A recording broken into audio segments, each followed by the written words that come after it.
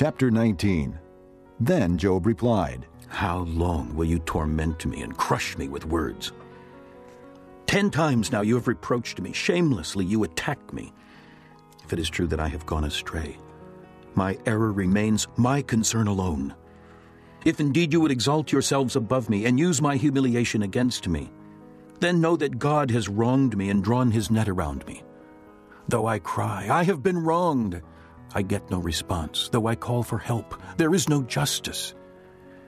He has blocked my way so I cannot pass. He has shrouded my paths in darkness. He has stripped me of my honor and removed the crown from my head. He tears me down on every side till I am gone. He uproots my hope like a tree. His anger burns against me. He counts me among his enemies. His troops advance in force. They build a siege ramp against me and encamp around my tent. He has alienated my brothers from me. My acquaintances are completely estranged from me. My kinsmen have gone away. My friends have forgotten me. My guests and my maidservants count me a stranger. They look upon me as an alien.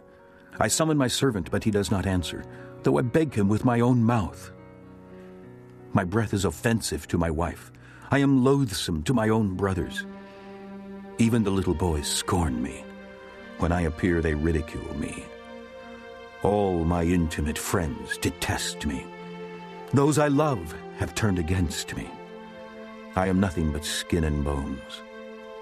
I have escaped with only the skin of my teeth. Have pity on me, my friends. Have pity, for the hand of God has struck me. Why do you pursue me as God does? Will you never get enough of my flesh? Oh, that my words were recorded, that they were written on a scroll, that they were inscribed with an iron tool on lead, or engraved in rock forever. I know that my Redeemer lives, and that in the end he will stand upon the earth. And after my skin has been destroyed, yet in my flesh I will see God. I myself will see him with my own eyes, I and not another. How my heart yearns within me! If you say, How we will hound him, since the root of the trouble lies in him, you should fear the sword yourselves.